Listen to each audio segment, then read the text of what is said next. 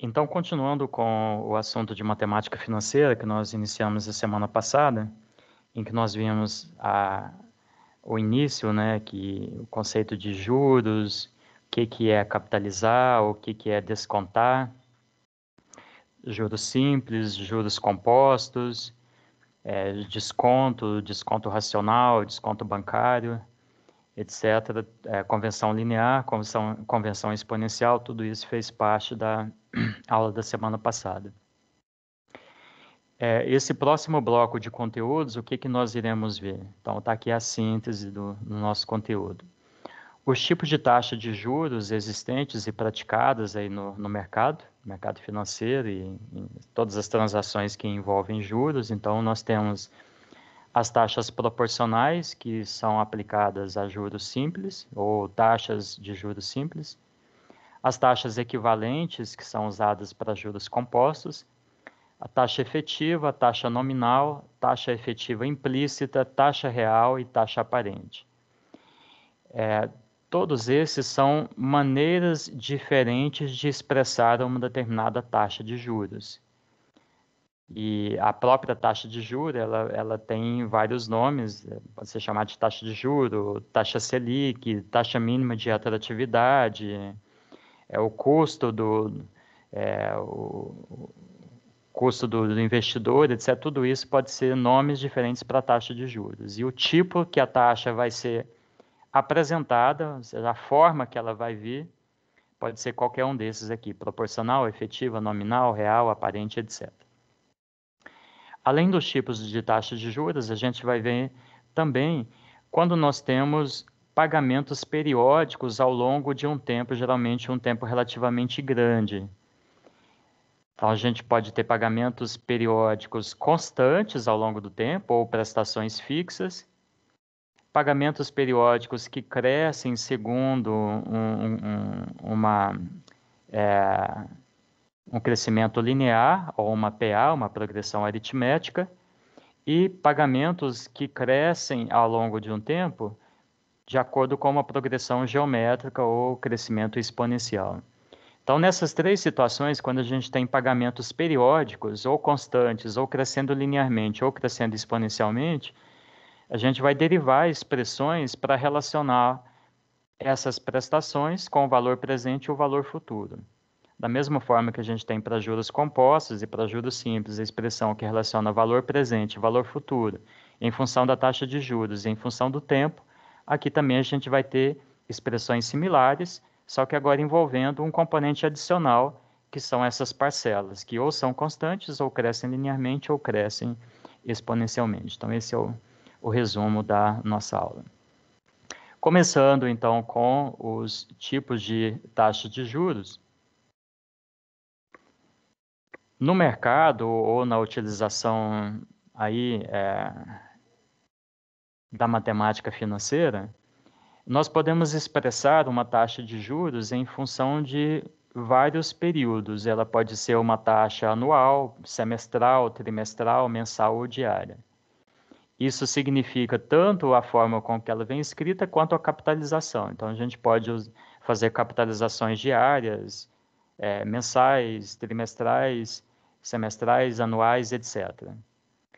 Quando nós temos juros simples, nós podemos fazer a seguinte pergunta: eu tenho uma taxa de juros é, expressa, por exemplo, ao mês para juros simples, e será que eu teria uma outra taxa de juros expressa ao ano que vai ser equivalente a essa taxa de juros mensal, então isso é o que se chama de uma taxa proporcional. Então, ah, como nosso objetivo é saber, é encontrar duas taxas que são dadas em períodos diferentes, por exemplo, uma ao mês e outra ao ano. Uma ao mês e outra ao ano. Que levam ao mesmo valor futuro. Então, nós vamos pegar a expressão de juros simples, nós sabemos que em juros simples o valor futuro é o valor presente, 1 mais a taxa de juros vezes o N, e vamos fazer aqui para um ano. Para um ano, vai ficar a taxa de juros dada em ano vezes 1 e a taxa dada em mês vezes 12. Como nós queremos que o valor futuro seja idêntico, então o PV aqui cancela e a gente vai ter essa relação, então, e, e, aqui também é, o 1 se cancela, essa relação de que a taxa anual é 12 vezes a taxa mensal, isso para juros simples. E isso vai ser idêntico para qualquer período proporcional. Então, a taxa anual é duas vezes a semestral, que é quatro vezes a trimestral, que é 12 vezes anual, que é 360 vezes a diária. Então, por isso que elas são chamadas proporcionais, porque em juros simples, uma é apenas uma proporção da outra. Por quê? Porque a relação é, de juros simples é uma relação linear. Como eu estou igualando aqui o valor futuro de duas expressões que são lineares, daí a relação entre as taxas de juros fica apenas uma relação proporcional. Então, por isso que elas são chamadas de taxas proporcionais. O que não vai acontecer agora em juros compostos. Em juros compostos, a gente não vai chamar essa, essa relação de duas taxas que levam ao mesmo valor futuro de taxas é, proporcionais. Por quê? Porque juros compostos, o crescimento, a, a comparação, ela não é linear, ela é exponencial. Então, se a gente quiser saber a mesma relação que a gente tinha antes entre juro mensal e juro anual, para juros compostos, a gente tem, então, que o valor futuro deve ser idêntico. Se eu vou fazer uma capitalização anual, então, se o I for dado ao ano, então eu tenho que o valor presente, 1 mais a taxa de juros elevado a 1, que tem que ser igual ao valor presente, 1 mais a taxa de juros dada ao mês elevado a 12. Então, a relação está aqui, ó, 1 e 12. Então, se eu tenho a taxa dada ao ano, eu vou usar o N igual a 1. Se eu tenho a taxa dada ao mês, eu vou usar o N igual a 12. Como eu quero que o valor futuro seja idêntico nessa, né, nessa situação, né, que eu quero saber qual que são as taxas de juros que levam ao mesmo valor futuro, é, simplificando aqui, então, o PV se cancela e a gente tem agora que 1 mais a taxa de juros anual é igual, tem que ser igual a 1 mais a taxa mensal elevado a 12, não aqui vezes 12. Então, agora a gente não tem taxas proporcionais, daí a gente vai chamar elas de taxas equivalentes. Então, se eu, se eu tenho uma taxa que é mensal e eu quero saber a taxa anual que leva ao mesmo valor futuro, essa é a relação entre elas. Então, a partir de uma eu calculo a outra e vice-versa. E assim para qualquer período de tempo, repetindo isso aqui para qualquer outro período de tempo, a gente vai encontrar essa relação. Então, 1 mais a taxa anual tem que ser igual a 1 mais a semestral elevado a 2, porque são dois semestres no ano, 1 mais a trimestral elevado a 4, 1 mais a mensal elevado a 12, e 1 mais a diária elevado a 360. Então, aqui é elevado, ao contrário de juros simples, ó, que é vezes. Então, por isso que aqui é uma proporção e aqui não, aqui já é equivalente. Bom, isso então é quando a gente quer saber duas taxas, mas que elas são dadas em períodos diferentes que levam ao mesmo valor futuro. E é, agora surge um outro conceito que é extremamente importante e que causa muita confusão nas pessoas, que é o conceito de taxa efetiva para juros compostos. Uma taxa efetiva, na verdade, a confusão é entre taxa efetiva e taxa nominal, porque o conceito em si de taxa efetiva é, é relativamente simples. Uma taxa é, é dita como sendo efetiva ou ela é chamada como sendo efetiva em juros compostos, só se aplica a juros compostos, porque juros simples não, não, não faz sentido, não vai fazer diferença. Quando ela é dada no mesmo período de tempo da capitalização. O que, que isso significa? Aí no, no exemplo, é uma taxa de 12% ao mês e a capitalização desse juro é mensal. Então, a capitalização é a mesma da taxa de juros. A taxa de juros é 12% ao mês capitalizados mensalmente. Então, essa taxa é chamada de efetiva, é um nome de batismo que dá para ela. Taxa efetiva é aquela taxa que é dada num período de tempo que coincide com o período de capitalização. Agora, nem sempre isso acontece, o embrólio nasce daí. Por quê? Porque no dia a dia, no, por questões históricas, enfim, por vários fatores, geralmente as taxas de juros são dadas num é, é, num período de tempo diferente da capitalização. O exemplo clássico é a poupança. a poupança ela é fixada é, pelo governo, que ela é uma proporção da taxa Selic, é 70% da taxa Selic, e a taxa Selic é dada ao ano e o rendimento da poupança também é dado ao ano. É, o rendimento não, a, a divulgação do, do, do, valor do rendimento da poupança, a taxa de juros da poupança. A, expressão correta é essa. A taxa de juros da poupança é divulgado em base anual. Por exemplo, sei lá, 3% ao ano. Só que a capitalização da poupança não é anual, a capitalização da poupança é mensal. Então, a taxa é dada num período de tempo diferente da capitalização. Então, essa taxa que é dada ao ano, a gente vai chamar ela de nominal. Por quê? Porque ela não pode ser efetiva, porque ela não é dada no mesmo período de tempo da capitalização. Então, ela vai ser chamada de nominal. Exemplos de taxas nominais. 12% ao ano com capitalização mensal, ou 24% ao ano com capitalização semestral, ou 10% ao ano com capitalização trimestral. Então, são todas nominais, por quê? Porque a taxa é dada num período de tempo diferente da capitalização. E, é assim que, que, que funciona no, no mercado. No mercado financeiro, as taxas, muitas taxas são dadas ao ano com capitalização em períodos de tempo menores, e daí, então, ela vai ser chamada de uma, é, ela é uma taxa nominal, ela não é, não é uma taxa que deve ser utilizada nos cálculos. Quem que a gente deve utilizar nos cálculos? É a chamada taxa efetiva implícita. O que, que é uma taxa efetiva implícita? Bom, se essa taxa aqui ó, de 12% ao ano é capitalizada mensalmente, então 12% dividido por 12, que é a quantia de, de meses no ano, eu tenho 1% ao mês. Esse 1% ao mês é a chamada taxa efetiva implícita. Por quê? Porque ela está implícita na informação anterior. E ela é que deve ser utilizada nos cálculos. Então, os cálculos, nos cálculos eu vou ter que igualar o período de capitalização com a taxa. Uma das maneiras, então, é pegar é, a taxa nominal, divide pelo o tempo, o, o período, a quantia de períodos é, de capitalização contidos no período que a taxa foi dada. Então, se ela foi dada ao ano e eu tenho capitalização mensal, então a quantia de períodos é 12, divido então aqui por 12 e obtenho a taxa efetiva implícita. E é essa taxa efetiva implícita que a gente é, deverá utilizar nos cálculos. Vamos fazer aqui um, um, um exemplo numérico para clarear isso aqui. Lembrando que é, o, o objetivo, então, é sempre chegar no mesmo valor futuro.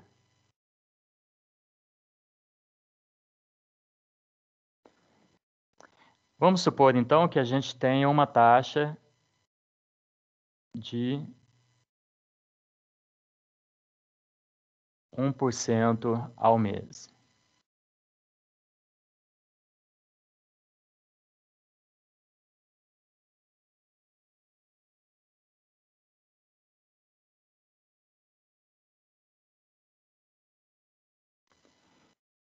E nós queremos saber um determinado rendimento ao final de 12 meses, partindo de um valor presente de 100, uma base de cálculo aqui, 100 reais aí.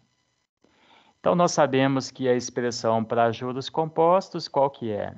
O valor futuro é igual ao valor presente 1 mais i elevado a n.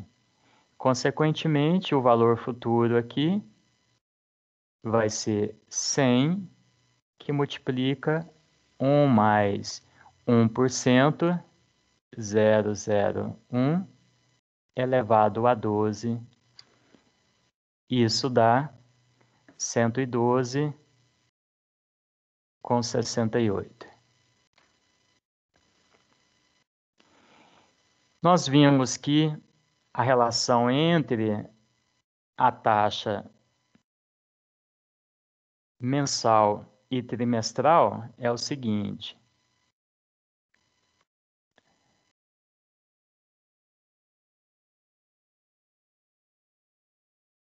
A juros compostos, 1 mais a taxa trimestral.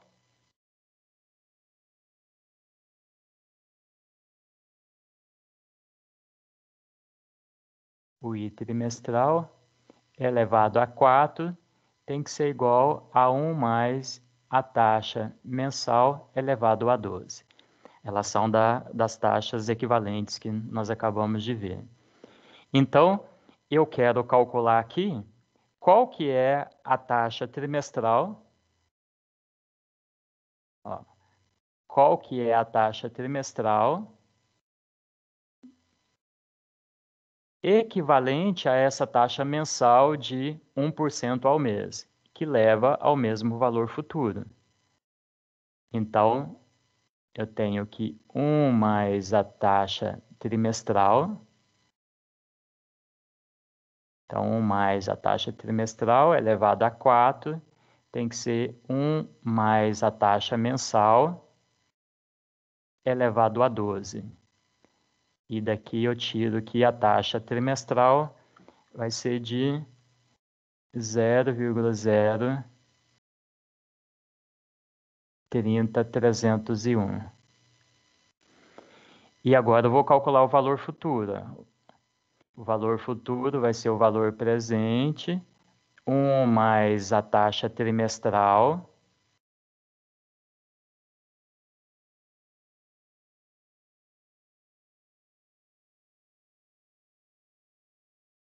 No ano eu tenho quatro trimestres, então é elevado a 4, isso dá 112,68. Quem não acreditar, refaz aí os cálculos. Então, o que, que nós temos aqui? Ó? Que essa taxa aqui de 1% ao mês, ou 001, né, é equivalente a quê? A taxa trimestral de 3,030% ao trimestre. Por que, que elas são equivalentes? Porque elas levam ao mesmo valor futuro, 112,68 é, nos dois casos. Então, uma eu capitalizei todo mês, então durante 12 meses, e outra eu capitalizei todo trimestre, então por quatro vezes, é, fazendo assim um ano.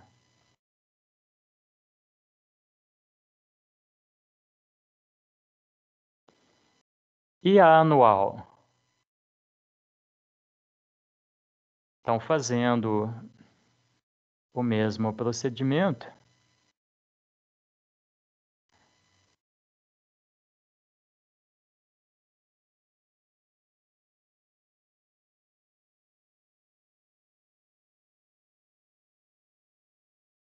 anual nós temos que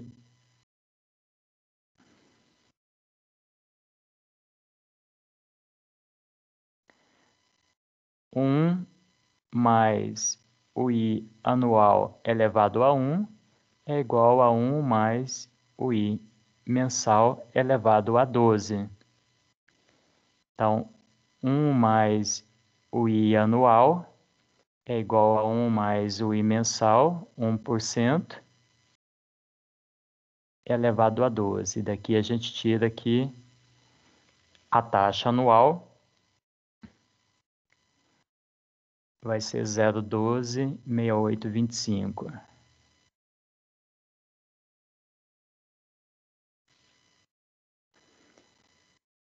E calculando então o valor futuro, 100, 1 mais 0,12, 68, 25 elevado a 1, já que essa taxa aqui então é dada ao ano, que dá, milagre dos milagres, 112,68. Não, não tem nenhum milagre aqui.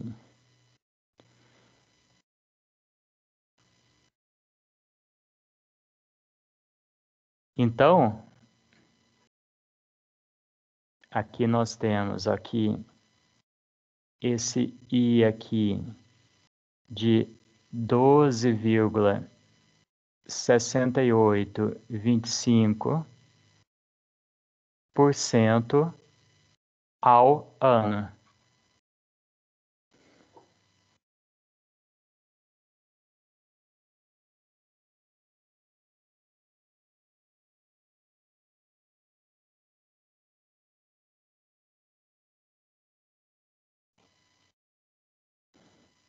E aqui então nós podemos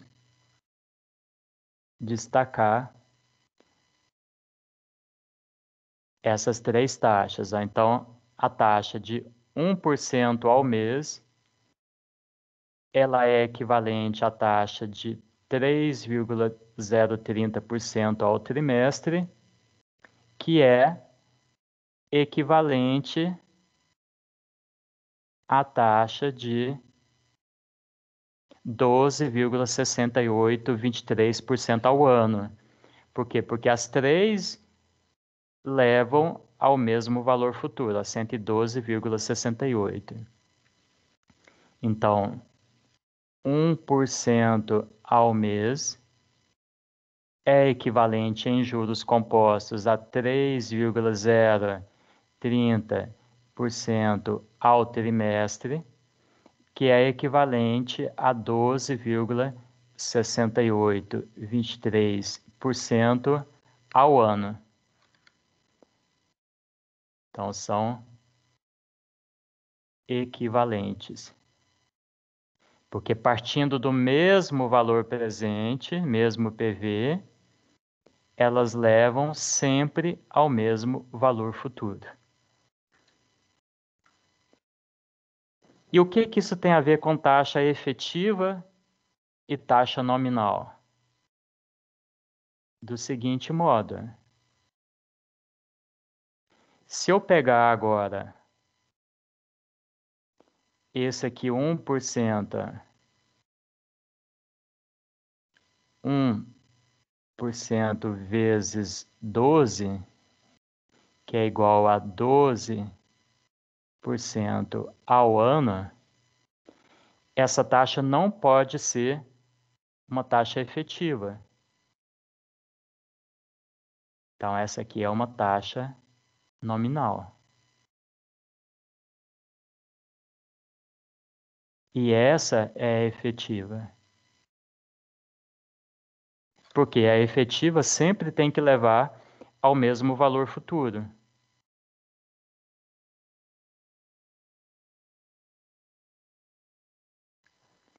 E a única que leva ao mesmo valor futuro é essa daqui.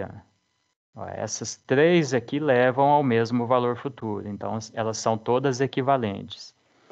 Quando eu peguei o 1% e simplesmente multipliquei por 12, encontrando então esse 12% ao ano, ela é uma taxa nominal. Por quê? Porque se eu fizer o cálculo é, por um ano com ela, ó, essa mesma continha aqui, ó, mas agora utilizando 12%, eu não vou encontrar esse mesmo valor futuro aqui.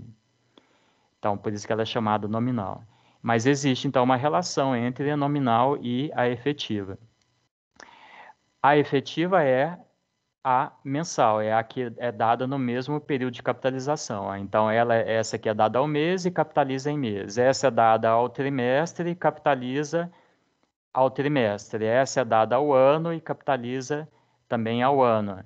Então, as três são efetivas. Essa aqui é dada ao ano, mas com capitalização mensal. Daí ela não pode ser chamada de efetiva, ela é chamada então de nominal. Então, essa é a diferença entre taxa nominal e efetiva. No mercado é divulgada a taxa nominal, como eu falei, caso da poupança, tantos por cento ao ano, mas como o rendimento é mensal, então primeiro tem que se achar a taxa efetiva implícita. Essa aqui seria a taxa efetiva implícita para uma taxa nominal anual de 12%, que eu posso fazer os cálculos com ela ou com qualquer outra taxa equivalente. Aqui o objetivo era mostrar exatamente isso.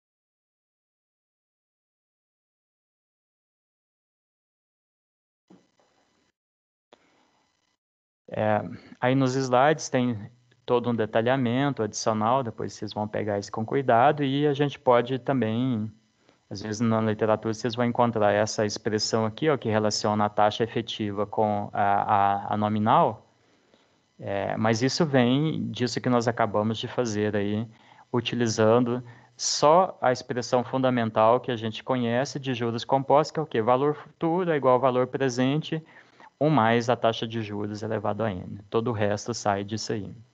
Então, aqui tem um exemplo dessa tal taxa efetiva né, que a gente encontra no dia a dia. Isso é um print de um, um anúncio aí de um banco para financiamento imobiliário. Está dito aí, né? A taxa que faltava para você comprar o seu imóvel, 8,99% ao ano. Como a, o pagamento de prestações e também o rendimento de juros em financiamento imobiliário é mensal, e a taxa está tá sendo dada ao ano, então essa aqui não é, é a, a, é, a, nesse caso aqui está dito que essa taxa aqui é uma taxa efetiva, então não pode ser a taxa nominal. Nesse, é, nesse caso aqui a instituição financeira foi honesta e já mostrou direto o, a taxa efetiva. Geralmente a maioria das instituições financeiras divulgam a taxa nominal. Mas aqui a gente poderia fazer a pergunta, ó, qual que seria a taxa nominal nesse caso aqui? Bom, a taxa nominal é 0,72 vezes 12. 0,72 vezes 12 dá 8,64. Então, 8,64 é a taxa de juros do financiamento nominal. E 8,99 é a efetiva. A efetiva é sempre um pouco maior do que a nominal. Por que, que isso acontece? Porque as juros compostos Cada juro de cada período ele é incorporado ao principal, fazendo com que lá no, no, no final é, do período, no caso aqui de um ano, é, a, a, a quantia seja um, um, pouquinho maior do que simplesmente quando a gente pega a nominal e, e, e divide por, por 12 pelo tempo, é, que daria um, um daria a supor que seria um valor menor, mas na prática não é porque tem essa capitalização mensal dos juros sendo incorporados ao capital. E aqui aparecem algumas outras informações que vocês já conhecem, né? O, o SET, por exemplo, o custo efetivo total, ó, nesse caso, que é o que interessa, né? A gente ressaltou bastante isso. Pra, não adianta comparar taxas de juros, mesmo que seja efetiva. O que você tem que comparar entre diversas opções e a 7 é o custo efetivo total. Por quê? Porque além de juros, se cobram várias outras coisas e tudo isso está refletido no custo efetivo total. Então, nessa instituição aqui, por exemplo, é, na verdade a pessoa não vai pagar, não é 8,99% de juros. Por quê? Porque além de juros tem as outras coisas, então o que efetivamente ela vai pagar é 9,98% ao ano. Veja que é um valor bem maior do que os 8,99. Né? Só 1% a mais, mas em financiamentos de imobiliário, que o valor financiado geralmente é grande por um período de muito tempo, 1% na taxa de juros pode representar uma diferença enorme, tanto em termos de valor de prestação, quanto em termos totais que a pessoa vai pagar. Bom, isso era então o que a gente vai falar em termos de, de taxas de juros, as taxas proporcionais, equivalentes, efetiva, nominal, efetiva implícita, real e aparente. Ah, está faltando ainda real e aparente. Real e aparente é, é relativo, então, à presença de inflação ou não. Aqui nesse exemplo fica bem claro. Suponhamos então que em 15 meses um investidor obteve 21% de rendimentos. Mas nesse período ele ganhou com juros, ó, 21% foi o que ele ganhou de juros de, de um, uma determinada aplicação, mas nesse mesmo período houve uma inflação de 9%. Então o rendimento real dele não foi 21%, e nem 21 menos 9%. Como que a gente calcula esse investimento real? Através, então, do conceito de taxa real e de taxa aparente. A taxa aparente, que é esse 21% aqui, é sempre maior do que a taxa real. Por quê? Porque a taxa real ela é, é a taxa aparente carcomida, é, diminuída da, da inflação. E ela é menor, mas não é simplesmente a diferença entre elas. Por quê? Porque a correção que se faz é, é, no mercado financeiro ou no, no, mundo financeiro é o seguinte: ó, primeiro você corrige com juros e depois você aplica a inflação. Como a gente tem que a expressão do juro composto é uma expressão exponencial, né, a gente não pode simplesmente multiplicar as duas taxas e fazer uma única correção. Então tem que corrigir primeiro com a, a taxa relativa a juros e, e como a taxa de juros né, é, é um mais a, a correção que você aplica ao principal, né, é sempre um mais a taxa. Depois, o resultado disso, você tem que corrigir com a inflação, que é 1 mais a taxa de inflação.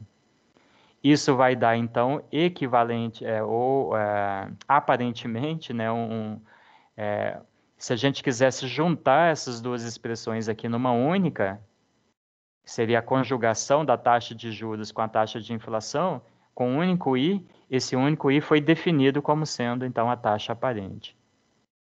E daqui dos cálculos, então, a gente vê ó, que é, se a taxa aparente for de, de um, 21%, mas o, o capital foi é, é, teve o valor diminuído devido à inflação de 9%, então a taxa real que o investidor teve foi apenas de 11%, que é diferente de 21 menos 9. Então a, a continha que tem que ser feita é sempre nessa forma 1 mais é, a taxa e, e não simplesmente pegá-las e multiplicá-las. Bom, é, o assunto seguinte, então, que a gente tem é, é, o cálculo de prestações que podem ser constantes, podem aumentar linearmente ou podem aumentar exponencialmente com o tempo. Para que, que servem essas expressões que a gente vai deduzir aqui? Para facilitar a nossa vida. Elas são necessárias? Não. Elas são úteis? Sim. Então, pelo fato delas serem úteis, é que elas são utilizadas, mas elas não, não são é, obrigatórias. A gente poderia viver sem elas. Né?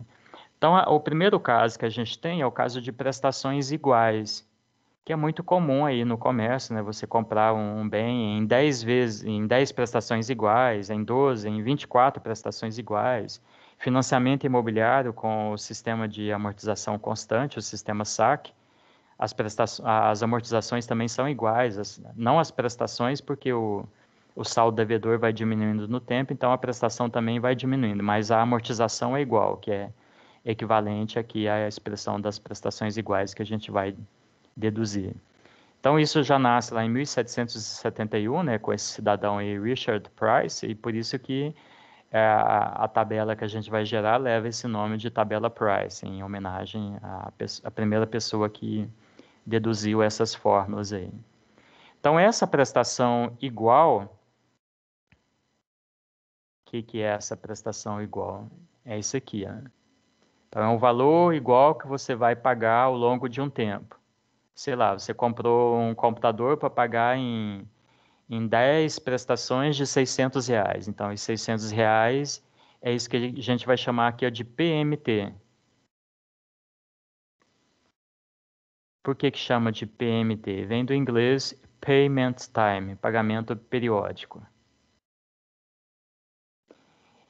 Ah, então, o que, que nós temos em termos de fluxo de caixa? Nós temos o valor presente, que é o, o, o valor no tempo atual, né, no, no, momento presente, e seria equivalente ao, ao pagamento à vista. Né? Então, você tem opção ou paga à vista, então que é o PV, ou paga em tantas vezes fixas e com uma taxa de juros embutidos nessa, embutido nessa prestação. Então, o objetivo é relacionar essa, essa prestação fixa, o PMT, com a taxa de juros, com o valor presente e também com o valor futuro. Primeiro, a gente vai deduzir, então, o valor futuro dessa operação financeira aqui, porque é mais fácil deduzir para o, o valor futuro. Então, nós temos ó, que a primeira prestação, a primeira prestação ela é paga ó, um período de tempo após o momento presente, a chamada prestação postecipada. Nós temos prestação antecipada e prestação postecipada. Postecipada é a prestação que é paga um período de tempo após o momento presente. A antecipada, a prestação é paga já, a primeira já é paga no momento presente. Então, não é o caso aqui. Então, aqui é uma prestação postecipada. Então, numa prestação postecipada, a primeira prestação, se eu quiser levar o valor dessa prestação para o futuro, ela rende quantos períodos de tempo de juros? N menos 1, porque o primeiro período não, não conta. Então, o valor dela lá no futuro é o quê? É o valor dela no presente, então, que é PMT, o valor fixo, 1 mais I, elevado a N menos 1. A segunda prestação, da mesma forma, rende N menos 2 períodos de juros. Então, o valor dela lá no futuro é PMT, 1 mais I, N menos 2.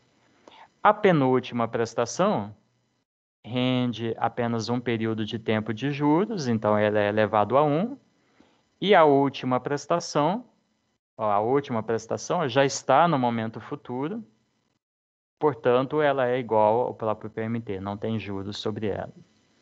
O FV é a soma de tudo isso, então a soma de todos esses FVs anteriores. Então, somando todos eles, colocando o PMT em evidência, que é o fator comum, a gente tem uma relação aqui, então, entre o valor futuro e o PMT e uma série aqui. Ó. Essa série a gente pode encontrar o termo genérico dela usando esse artifício matemático aqui, que é multiplicar tudo por 1 mais i e subtrair uma equação da outra. Então, multiplicando tudo por 1 mais i, nós temos essa equação aqui, subtraindo uma da outra, a gente vai cancelar um monte de termos aqui. Porque esse n aqui, teoricamente, pode ser infinito, é um número muito grande. Então, vai ter muitos termos aqui, muitos deles se cancelam, ficando nessa expressão mais enxuta aqui embaixo. E colocando então o FV em evidência, que é o objetivo aqui encontrar o valor futuro, a gente tem então ó, que o valor futuro de todas essas prestações fixas é igual a 1 mais a taxa de juros elevado a n, é o período de tempo menos 1, dividido pela taxa de juros. Então, como eu disse, é imprescindível essa expressão aqui? Não, porque você poderia calcular o valor futuro somando todas as prestações aqui. Mas vamos supor que essa operação financeira aqui tivesse 300 prestações. Você ia ter uma expressão aqui em FV com 300, 300 parcelas aqui para você efetuar. Não é muito bom de ficar fazendo isso manualmente, mesmo hoje com os recursos computacionais aí. Então, essa expressão aqui, com uma única expressão, a gente consegue ter o valor futuro para as 300 prestações iguais. Ó, desde que as prestações sejam iguais, o N aqui seria 300, com uma determinada taxa de juros, eu já tenho o valor futuro de todas essas prestações no atacado, usando essa única expressão. Então, por isso que eu disse anteriormente que ela é útil, mas não é imprescindível, porque do ponto de vista é, é, teórico possível, você pode pegar cada prestação e levar para o futuro, mas com essa expressão aqui facilita bastante a nossa vida. Mas o mais comum é nós termos a relação entre PV e o PMT. A gente geralmente quer relacionar o valor presente com a prestação e não o valor futuro.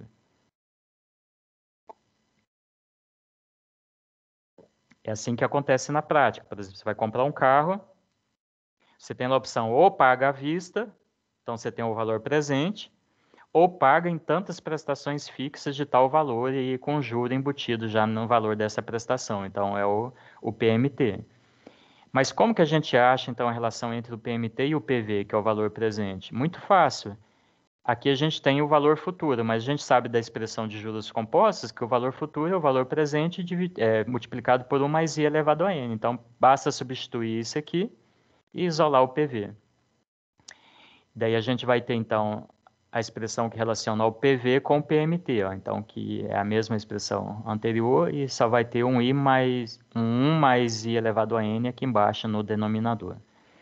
Essa sim é a expressão que vai ser extremamente útil para a gente. A gente vai utilizar ela agora até o final do nosso curso. Essa relação então entre o valor presente, então o valor presente é a prestação fixa, PMT, 1 mais i elevado a n menos 1, dividido por i, 1 mais i elevado a n.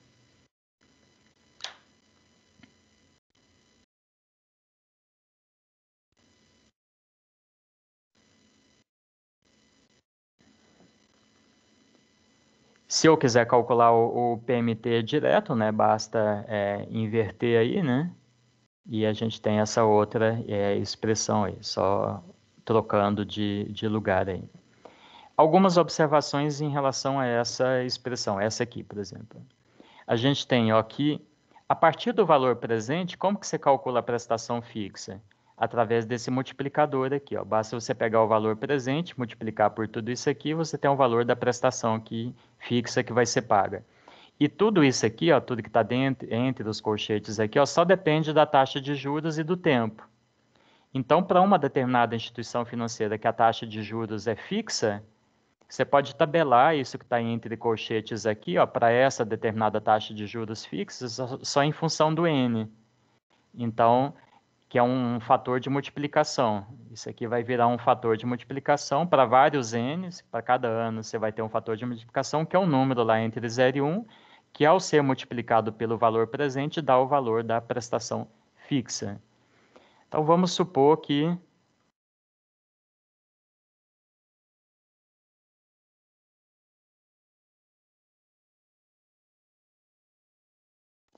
Vamos supor que você tenha um, queira comprar um, um, carro. Já formou aí, já colou grau, já está trabalhando como trainee ou como engenheiro, já está ganhando bem e agora já pode pensar em fazer a, a aquisição maior, né, o sonho de todo brasileiro, que é a primeira coisa, comprar um carro.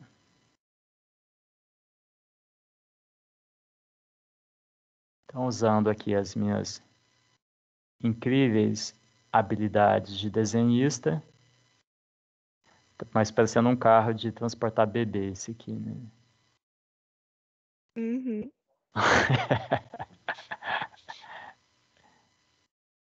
talvez seja. Umas fases aí já, já tá no, no filho em vez do carro. Então, é, talvez a mensagem aqui seja a seguinte: a prioridade não é comprar um carro, gente, a prioridade é ter um filho. Então, vamos supor que esse carro aqui, ó, que não seja de bebê, ele custe 40 mil reais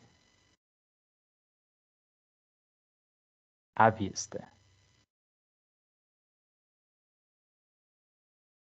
Então, esse é o nosso PV, o valor presente. Ou você pode comprá-lo em. Vamos ver aqui.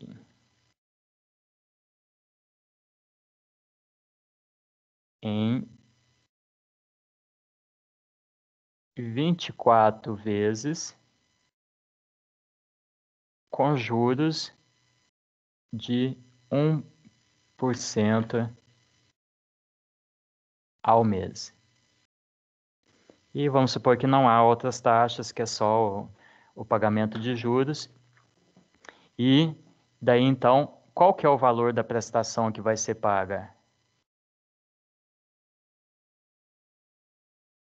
Para isso que serve essa famosa expressão do PMT que nós deduzimos aqui. Ó. Então a gente tem que a prestação, o valor da prestação que vai ser pago ao PMT é o, é o PV que multiplica 1 mais i elevado a n menos 1, aliás, é, PV que multiplica i, 1 mais i elevado a n sobre 1 mais i elevado a n menos 1. Então vamos fazer essa, essa continha aí. Já peguem a calculadora aí e façam então, essa continha. Então, a gente tem o PV, que é 40 mil, taxa de juros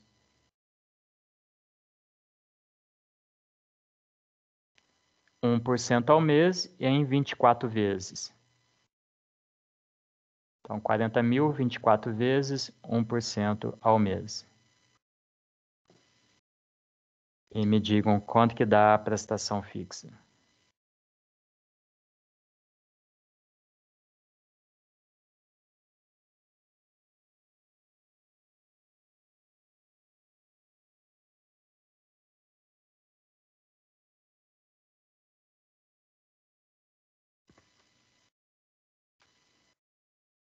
Quanto deu? 40 mil PV, né? Isso, 40 mil.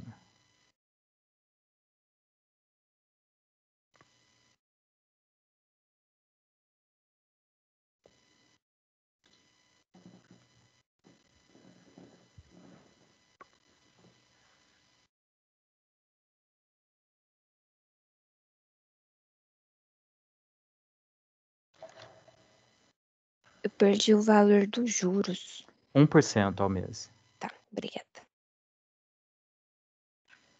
24 meses.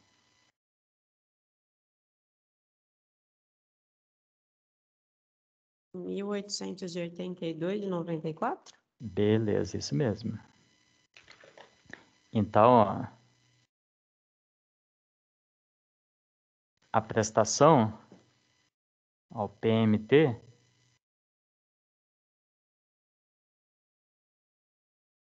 mil oitocentos e oitenta e dois com noventa e quatro reais.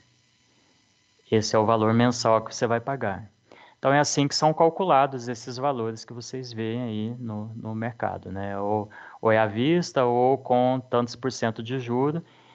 Essa expressão só ressaltando quando você tem só juro embutido, né? Porque se, se for fazer financiamento, vai ter IOF, Daí, como que essa conta é feita? Você tem que pegar o valor do bem, no caso aqui 40 mil, acrescentar a percentagem do, do IOF, vamos supor que o IOF seja 1%.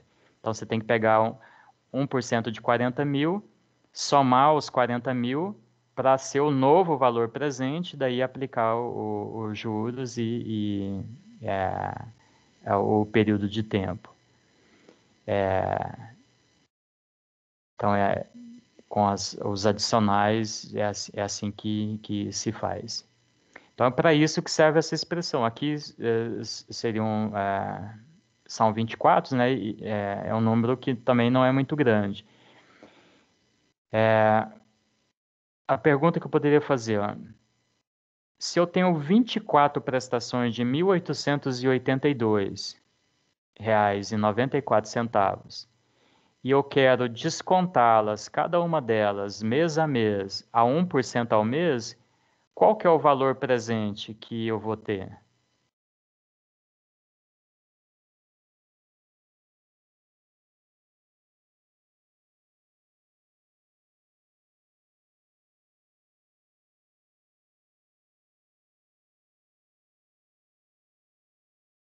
Qual o valor da parcela que você falou mesmo? 1882,94. Aí vai ser 40, né? 40. Então, a, aqui o objetivo é evidenciar que é, o, o 1882 em 24 vezes a juros de 1% é equivalente, é equivalente do ponto de vista financeiro a 40 mil no presente. O que é diferente é eu pegar 1882 com 94 vezes 24.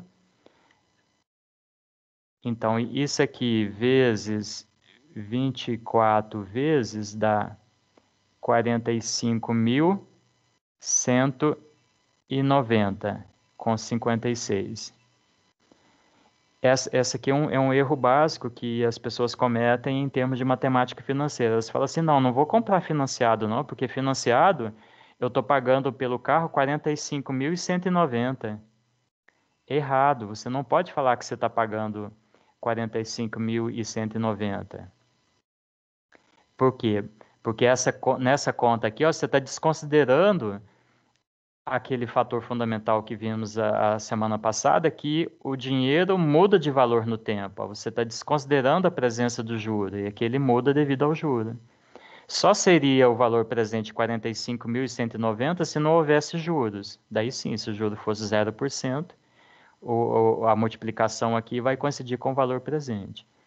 Então, é, em termos de, de, de total, os 1.882 em 24 vezes com juro de 1% é 40 mil no presente, não 45.190 no presente.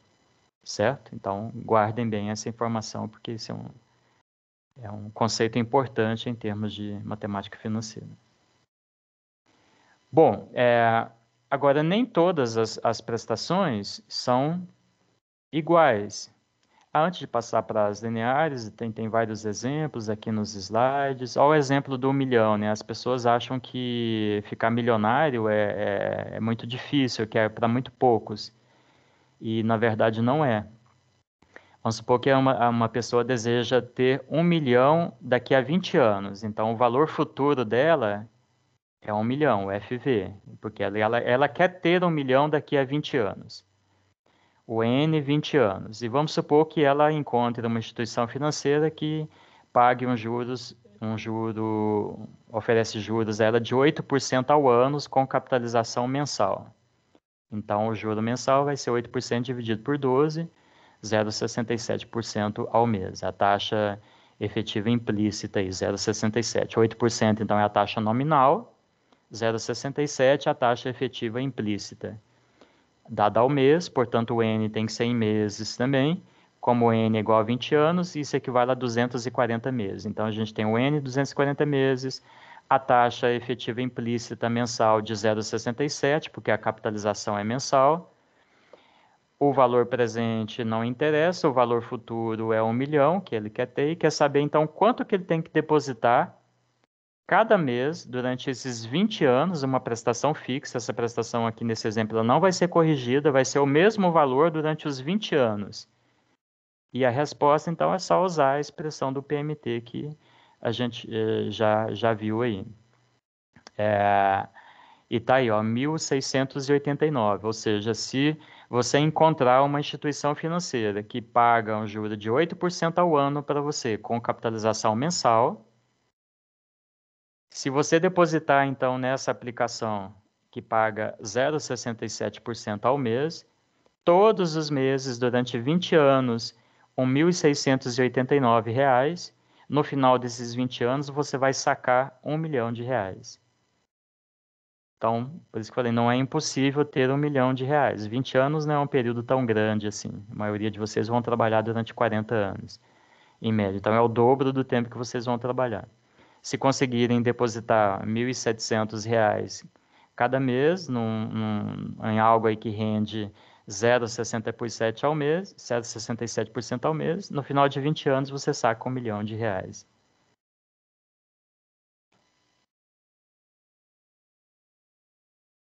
Quando as prestações são antecipadas, essa expressão que nós desenvolvemos para o PMT não pode ser utilizada, porque ela somente pode ser utilizada para prestações postecipadas, que é o que está na figurinha aqui, ó, que é a prestação postecipada, a primeira prestação vencendo um período de tempo após o momento presente. Mas a gente pode fazer algumas gambiarras aí, que é o que aparece aqui nesse exemplo. Se a primeira prestação tiver que ser paga no ato da compra, que é esse caso aqui, então de prestação antecipada, a gente não pode usar a expressão do PMT que nós acabamos de deduzir. Mas, contudo, porém, todavia, a gente pode fazer um artifício de matemática financeira que consiste, então, em montar esse fluxo de caixa que é fictício, esse é o fluxo de caixa real, esse aqui é um fluxo de caixa fictício, por quê? Porque a gente está definindo aqui um valor presente 1, que é um valor presente fictício, por isso que está com linha pontilhada aqui, que está recuado um instante de tempo atrás, e ele passa a ser o momento zero, de tal forma que o primeiro pagamento passa a ser no momento 1, ao contrário daqui. Então, é como se a gente recuasse esses três aqui um instante de tempo à frente e definisse um valor fictício aqui no momento zero. Por quê? Porque agora eu posso usar as expressões que a gente tem que relacionam o PV com o PMT. Então, usando essa, as expressões que a gente tem, ó, a gente pode calcular o PV1, que é o fictício, usando a mesma expressão que a gente já conhece. Eu calculo esse valor presente aqui, ó, que está um instante de tempo recuado atrás. Então, calculei ele. Como eu não quero saber ele, eu quero saber esse daqui, ó. Daí, o que, que eu faço? Eu pego a expressão do juro composto e movimento ele um período de tempo à frente. Então, 8.576 é o valor presente, correspondendo a três prestações fixas de R$ reais, com juros de 5%, e essas prestações sendo antecipadas e não postecipadas. E essa mesma estratégia vai ser utilizada em prestação com carência, aqui não tem nada novo, é simplesmente usar esse mesmo artifício matemático. Essas são as tabelas que eu falei para vocês, ó, que eh, as instituições aí utilizam. Então, para uma determinada taxa de juros, você calcula aquele valor lá que aparece entre é, colchetes para vários períodos de tempo e esse passa a ser então o fator de é, multiplicação, nesse caso aqui está na forma de FV sobre PV, que é o chamado fator de acumulação. Então, é, isso aqui menos 1 daria então o valor que está lá entre colchetes, que é o que você multiplicaria pelo valor presente para calcular o PMT. Então, para vários N's, para vários I's. Antigamente isso era muito útil quando não, não se tinham calculadoras mais avançadas ou não tinha computadores, então essas tabelas eram muito úteis. Hoje deixou de ter um pouco de sentido. Bom, e agora é, a pergunta. É, e quando a prestação não fica fixa? Às vezes a prestação ela pode aumentar linearmente, que é esse caso aqui, ó, vamos supor que uma prestação, ao invés de ser a prestação fixa, no caso que nós demos o exemplo do carro, né? Se a prestação aumentar de um delta constante, ó, como aqui, ó, a primeira prestação é 1.000, a segunda 1.200, a terceira 1.400, ou seja, já está aumentando sempre de 200 em 200. Daí a expressão que nós acabamos de deduzir envolvendo o PV e o PMT não serve mais, porque aqui a prestação é fixa. Aqui ela vai aumentando, mas ela aumenta de um mesmo incremento, de um mesmo delta. Então, isso é o que nós chamamos de uma série gradiente linear. Linear nesse caso, porque ela aumenta de um delta constante. O artifício aqui para desenvolver, então, a, a, a expressão que vai relacionar o PV a essa prestação que aumenta linearmente vai ser esse aqui.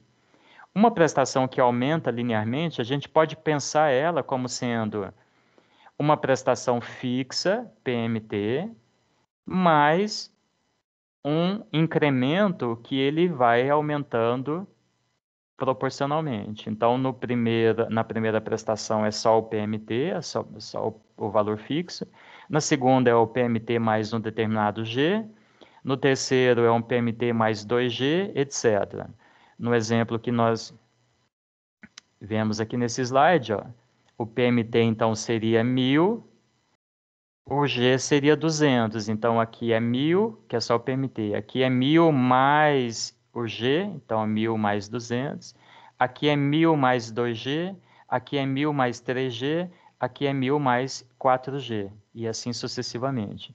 Então, na prestação que aumenta linearmente, a gente pode pensar como sendo uma prestação fixa, mais um pedacinho que vai aumentando linearmente. E daí o valor presente, ó, o valor no tempo zero, qual que é? Então, eu, é o valor presente das prestações fixas, que é esse aqui, ó, que nós já conhecemos. Mais esse SG aqui, que é a soma dos Gs. SG aqui significando a soma dos Gs. É o, a única coisa que a gente não conhece aqui. E como que a gente pode encontrar essa soma do G? Trazendo cada G para o presente. Né? O, o, primeiro G, como que eu trago ele para o presente? Ó, o primeiro G aqui, ó, ele está dois períodos de tempo depois do zero. Então, é ele dividido por 1 mais i elevado a 2.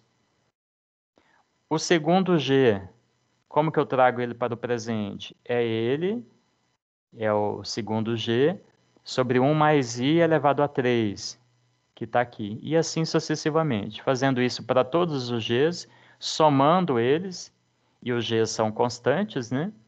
A gente tem que esse SG é igual a essa série aqui.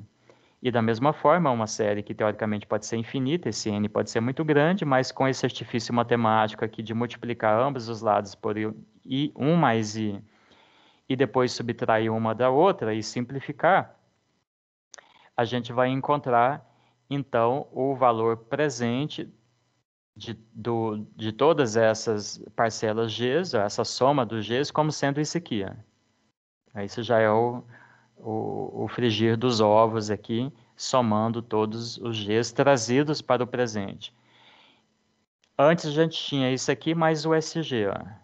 Ó, o valor presente era isso aqui, que é o valor presente das prestações fixas PMT, mais o valor presente da, dos vários Gs. Os vários Gs encontramos. Então, agrega ao anterior. Isso aqui pode ainda eh, ser feito aqui o mínimo múltiplo comum e, e reagrupado aqui. Então, a gente tem essa ou essa daqui. É, ambas é, levam exatamente ao mesmo resultado, que é, matematicamente são idênticas.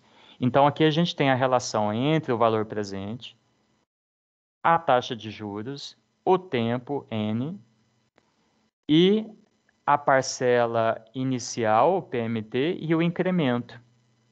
Por exemplo, uma fábrica comprou uma empilhadeira com vida prevista de 5 anos. Os engenheiros estimaram o custo de manutenção em mil reais no primeiro ano, crescendo em 250 por ano até o final da vida do equipamento. Se o custo de capital da empresa então for de 12% ao ano, pede-se o valor presente dos custos de manutenção. Então vejam que o custo de manutenção não é um valor constante. Se fosse um valor constante, era só isso aqui, ó. Valor presente era só resultado dessa conta aqui. Mas é um valor que começa em mil e cresce de um delta constante, ó, 250 a cada ano. Então, o que, que nós temos aqui? Ó? O N é igual a 5, o I é igual a 12%, está no mesmo período de tempo do N, ó, então está tudo ok. O PMT, então, é igual a 1.000, que é essa parcela constante, ó, que é 1.000, depois a segunda 1.250, 1.500, então a, primeira é 1.000, que é o valor constante. O G é 250, que é o incremento. Então, temos tudo aqui para fazer o cálculo, que só precisamos do PMT, do G, do N e do I. Então, fazendo essa é, continha, que está representado, então, o fluxo de caixa, sempre é bom a gente representar o fluxo de caixa. Então, a gente tem uma prestação constante que é 1.000 e o incremento, o G, né, que começa em 0, 250, 500, a cada mês, cada ano acrescenta 250 a mais. Então, substituindo aqui na, na expressão todos esses valores, a gente vai encontrar, então, o PV 5.204. Então, esse é o valor presente de todas essas manutenções ao longo dos, 50, dos cinco anos. Se tivesse tido uma outra proposta de um outro fornecedor, uh, de um valor diferente aqui, como que você comparava as duas propostas? Calculando o valor presente das duas, a que desse o menor valor presente, porque aqui é desembolso, né, é custo, a que desse o menor valor presente seria a melhor proposta. A gente precisa, precisaria utilizar essa, essa expressão monstro aqui para calcular o valor presente nesse caso aqui, Absolutamente não, porque aqui são apenas cinco prestações. Então, qual que seria uma outra maneira de fazer esse, esse mesmo cálculo aqui? Deixa eu só anotar os 12% ao ano durante cinco anos e a prestação começa com mil e depois sobe 250 a cada ano. Então, vamos supor que, é, que eu não quisesse usar essa expressão aqui. Essa expressão, tal qual o anterior, também. Ela é útil, mas não é imprescindível. Ela é útil porque quando o N é muito grande, por exemplo, se fosse um N aqui 200, 300, fazer isso manualmente é, seria bastante trabalhoso. Então, a gente tem uma expressão que já faz, é, uma única conta, a gente traz, as, por exemplo, as 300 prestações para o presente. Mas não é imprescindível. Então, sempre é bom a gente lembrar que a gente pode fazer manualmente é, usando a, a, a expressão do fluxo de caixa. Então, o fluxo de caixa aqui nesse caso, a gente tem ó, o valor presente, que é o que a gente quer determinar, e cinco prestações, ó, um, dois, três, quatro, cinco. A primeira é de mil, a segunda mil duzentos e cinquenta, a terceira mil e quinhentos, a quarta mil 750. Vão conferindo aí se eu não estou comendo nenhum número aqui. 1.250, 500, 750. A quinta, 2.000.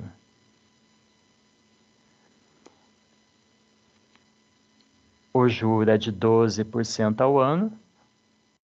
Ó, o I, 12% ao ano. Consequentemente, o PV, o que, que é? Mil trazido para o presente. Como que eu trago esse mil para o presente? É mil dividido por 1 mais a taxa de juros elevado a 1 mais o segundo valor, a segunda prestação trazida para o presente, 1.250, 1 mais 0,12 elevado a 2. E assim sucessivamente. 1.500 dividido por 1 mais 0,12 elevado a 3 e até a última. Então, essa é uma outra maneira da gente calcular o PV, que você não precisa de lembrar dessa fórmula monstro aqui. Essa fórmula, então, só é útil, é, é, é, é, mais adequado quando a gente tem n's muito grandes. Por quê? Porque para n's muito grandes, um n igual a 300, por exemplo, você tem que fazer isso aqui 300 vezes. E com essa expressão, numa única expressão, você traz todas as prestações para o presente. E o terceiro caso que a gente tem é quando as prestações elas aumentam, só que exponencialmente, que a gente chama então de série gradiente geométrica, um crescimento exponencial. Um exemplo. Ó. Exponhamos uma planta de geração de energia que fez um upgrade de uma válvula de controle de emissões. O custo da modificação foi de 8 mil e se espera uma vida útil de seis anos, com preço residual de 2 mil. O custo de manutenção foi estimado em 1.700 no primeiro ano, aumentando 11% nos, é, ao ano nos períodos subsequentes. Agora, então, a gente tem um aumento que não é na forma de delta, mas é na forma de percentagem, um aumento exponencial.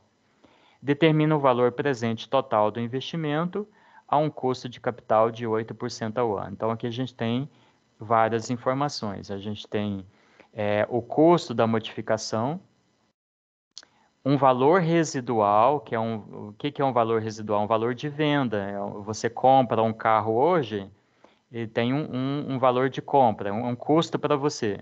Mas lá no futuro, quando você vende ele, você tem de volta parte do valor que você pagou no presente, que é o chamado então valor residual ou valor como sucata. Então, aqui é saída, que é o, é o, o valor de compra no presente, o valor residual é, um, é, é positivo, é uma entrada de caixa que você vai ter lá no futuro. E aqui a gente ainda tem custo de manutenção, que ele começa em 1.700 e aumenta 11%. É, por cento.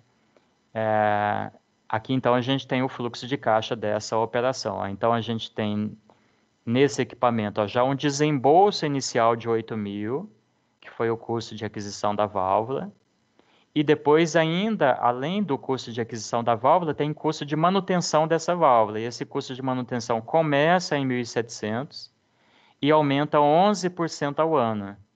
Então, aqui está representado, então, é, as parcelas relativas à manutenção, 1.700 mais 1.700 mais 11%, então significa multiplicar por 1,11.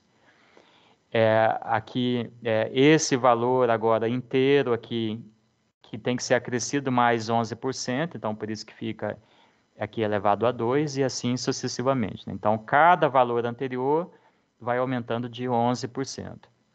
A taxa de juros é de 8%, e lá no final ó, tem uma entrada positiva de caixa de 200, que é o valor da venda do equipamento como sucata. Então aqui negativo, negativo, negativo, negativo, negativo e aqui positivo. Como que a gente encontra o valor presente dessa operação aqui? Então vai ser 8 mil, que já está no presente, mais os 200 que está lá daqui a 5 anos trazidos para o presente, mais é, a, as prestações, aliás, cinco ou seis anos, né? Mais as seis prestações trazidas para o presente. Então, essa continha aqui, ó, no, o valor presente é o menos 8 mil, que ele é desembolso, ele já está no presente, então a gente não tem que fazer nenhuma modificação nele. Mais 200, se eu considerei esse aqui negativo, esse tem que ser positivo, eles têm que ter sinais contrários. Então, esse, se eu considerei aqui menos 8 mil, esse aqui tem que ser mais 200. Mais 200 trazido para o presente. Como que eu trago esse 200 para o presente? Então, é 200, 1 mais a taxa de juros elevado a n. Mais as prestações trazidas para o presente. Aqui eu poderia trazer uma a uma, então seria 1.700 dividido por 1 mais 008 elevado a 1, mais, é, menos, né? É, perdão, aqui menos 1.700, porque aqui é a saída do fluxo de caixa, estou considerando aqui negativo, aqui positivo, isso aqui tem que ser negativo também. Então tem que ser menos 1.700 dividido por 1 mais 008 elevado a 1, menos 1.700 vezes 1,11, tudo isso dividido por 1 mais 008 elevado a 2, e assim sucessivamente. Então, essa seria a maneira de trazer as seis prestações para o presente. Ou adotar essa expressão aqui que foi deduzida para a série é, gradiente geométrica, que parte da mesma ideia é, do caso anterior. Então, nós temos é, as prestações que vão aumentando agora ó, exponencialmente, está aqui. O G aqui, então, é a percentagem, é o incremento, né? Sempre 1 mais a, a, a percentagem de incremento dessa prestação. Pegamos todos esses valores e trazemos para o presente. É, aqui o, o, A1, que é o, o valor inicial aqui, ó, aqui no nosso exemplo aqui, ó, o 1.700, ele é também constante, então por isso que ele é colocado em evidência.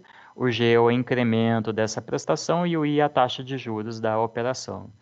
Aqui também fazendo o artifício matemático de multiplicar aqui por essa expressão e extrair uma da outra, a gente encontra então o valor presente.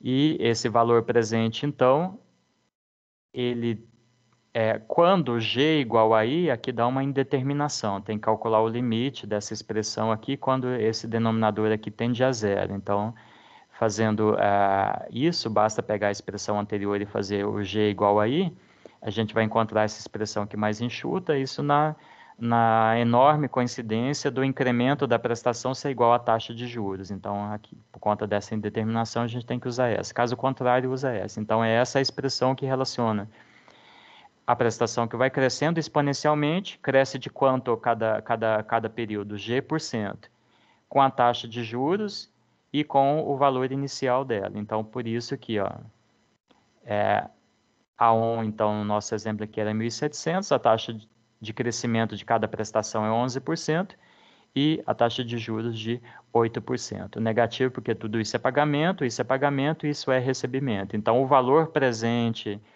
é, dessa, é, desse equipamento aqui, dessa modificação, então que tem um custo inicial, tem custo de manutenção, que cresce exponencialmente, tem valor como sucata. Então já está ficando um exemplo bem próximo do que a gente tem no dia a dia. O valor presente, então, desse equipamento é aproximadamente 18 mil unidades monetárias aqui. Daí você poderia comparar esse valor presente com de um outro equipamento, uma outra, uma alternativa, o que tivesse o menor valor presente, porque está negativo, está né, tá desembolso, é, é, é, é, gasto, é custo, o que desse o menor custo seria a melhor escolha. Então vejam que a gente já está agora, a gente já tem alguns elementos para comparar alternativas, que é justamente o que a gente quer em avaliação técnica econômica. Né? Então, de várias alternativas tecnicamente viáveis, escolher aquela que é melhor economicamente. Aqui a gente já está vendo um desses critérios que vai ser um dos mais importantes para a gente, que é o valor presente. Então, o critério do valor presente, a gente pega todos os, os valores, quer sejam custos, quer sejam recebimentos, traz tudo para o presente, por quê? Porque daí a gente pode comparar alternativas diferentes tendo todos os valores no presente. Por quê? Porque como a, a, a moeda varia, o dinheiro muda de, é, de valor no tempo, a gente só pode fazer uma comparação entre duas alternativas se elas estiverem no mesmo período de tempo. E o presente é um excelente tempo para a gente fazer as comparações. Então, aqui a estratégia é trazer todos os valores para o presente para fazer a comparação. Então, é assim que a gente encontra o valor presente é, correto do ponto de vista financeiro, de matemática financeira, para fazer as, as comparações.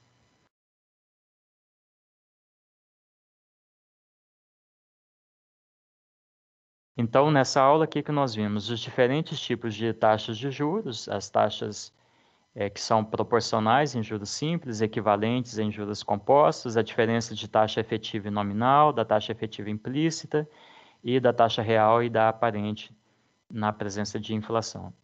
E mostramos então como que são deduzidas né, as expressões para a gente trazer no atacado, quando a gente tem várias prestações, trazer essas prestações no atacado para o presente, com o objetivo de comparar diferentes alternativas no presente, para três casos. Nos casos em que as prestações são fixas, que elas aumentam linearmente e que elas aumentam exponencialmente. Então, são três situações é, qualquer situação diferente disso, que a prestação não é nem fixa, nem aumente linearmente, nem aumente exponencialmente, a gente não pode usar essas expressões aqui. Daí tem que trazer manualmente cada valor para o presente, que é sempre possível, né? Essa, essa estratégia de pegar cada valor do fluxo de caixa e trazer individualmente para o presente, ela é aplicável a 100% das situações. Aqui a gente deduziu para três situações particulares que também são bastante frequentes e que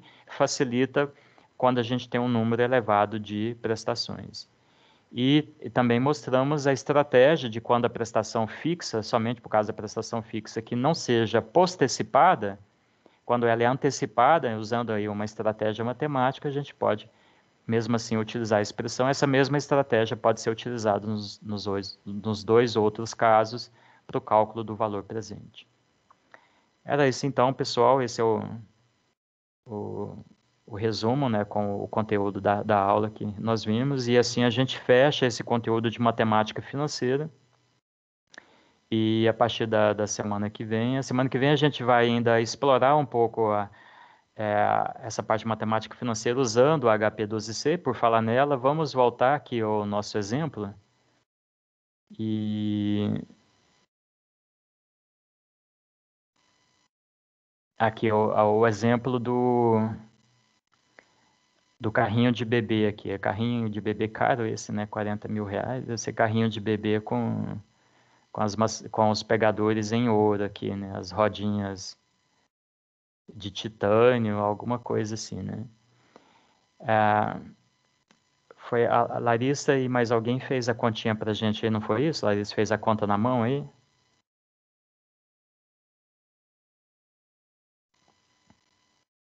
Foi a Maria Eduarda. Ah, tá. Acho. Isso.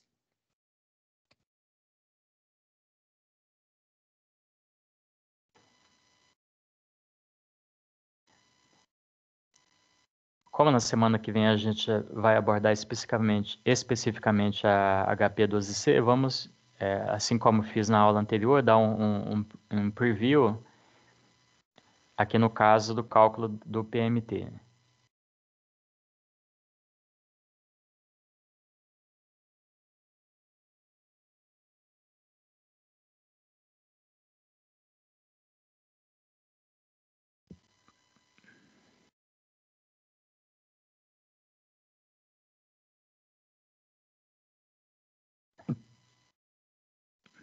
Então a gente limpa o visor, limpa memória financeira. O exemplo que a gente tinha lá, então a gente tem ó, o valor presente é 40 mil, 24 vezes, juros de 1% ao mês, e a gente queria calcular então a prestação fixa. Só que ao invés de utilizar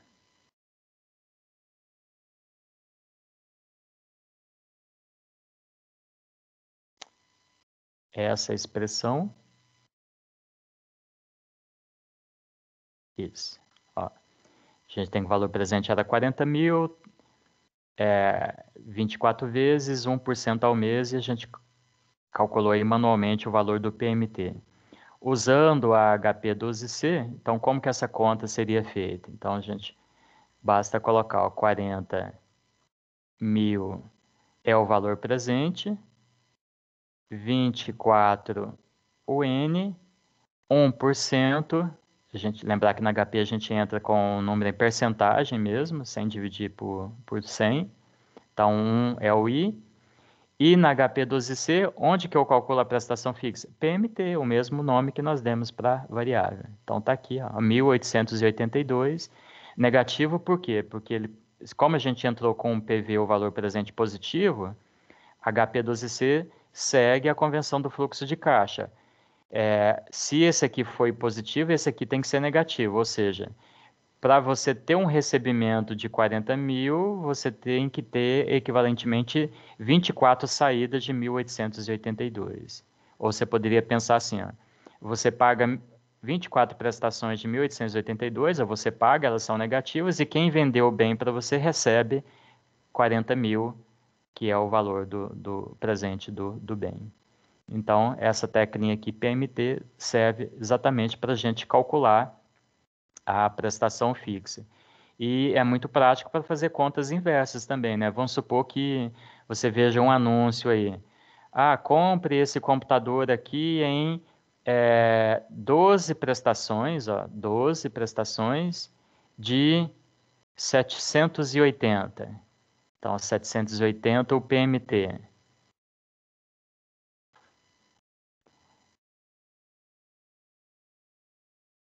ou pague 5 mil à vista. Daí você quer saber qual que é o juro que essa instituição está te cobrando. Então, ou você paga 12 prestações de 180 ou 5 mil à vista. Como eu entrei com PMT positivo, o PV tem que ser negativo. E daí eu clico no I, então HP12C já calcula direto para a gente. O I, a taxa de juros que está sendo cobrada é de 12,2, é, 11,3% ao mês. É um, nesse exemplo, é uma taxa hoje considerada altíssima. Mas, enfim, é muito prático ter, como eu disse, na, na no celular, aí, o, o, emulador no celular, né? Porque é, rapidamente você consegue fazer cálculos aí. Caso contrário, você teria, para fazer essa, essa continha aqui, ó, você teria que entrar, então, aqui, ó, PMT 780, PV 5000, o n igual a 12 e calcular esse i aqui. Ó. Veja que manualmente, sem uma calculadora científica, não é fácil de calcular esse i aqui não. Por quê? Porque é, é, esse i está tá embaixo aqui, né? Está na base aqui desse, desse 12, daí você teria que usar aí um método interativo e tal. Então, sem uma calculadora científica, é, já é chatinho de calcular a taxa de juros, mas com o emulador aqui da, da HP12C é a piece of cake. Ok, pessoal? Então, por hoje é isso e uh, boa atividade então lá no Modo para vocês e qualquer dúvida também façam uso do grupo do, do WhatsApp. Tá certo.